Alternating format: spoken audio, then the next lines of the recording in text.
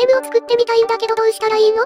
このボタンで、新しいゲームが作れます。ここはまだ違うのこれはゲームのタイトルや解説を書いたり保存をする画面です。プログラミング画面へ移動するにはプログラミングボタンを押します。おお、ここでプログラミングするんだね。はい。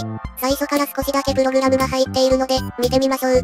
右側に並んでいるオブジェクトを選ぶと、中に入っているプログラムが真ん中に表示されます。カメラの中には、カメラの場所と向きを設定するプログラムが入っています。アスレチックとツノキュンには何も入っていません。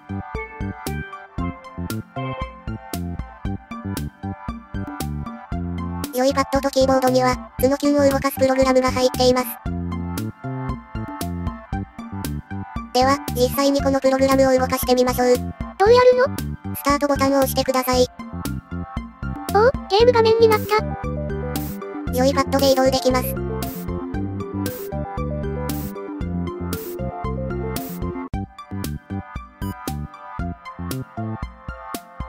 パソコンを使っている場合はキーボードの W、A、S、D キーです。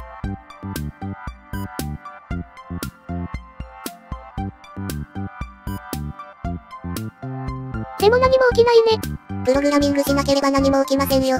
そっか。プログラミング画面に戻るときは、このボタンを押してください。よし、これからプログラミングに挑戦するよ。終了時間になりました。シャットダウンします。ちょ、ちょっと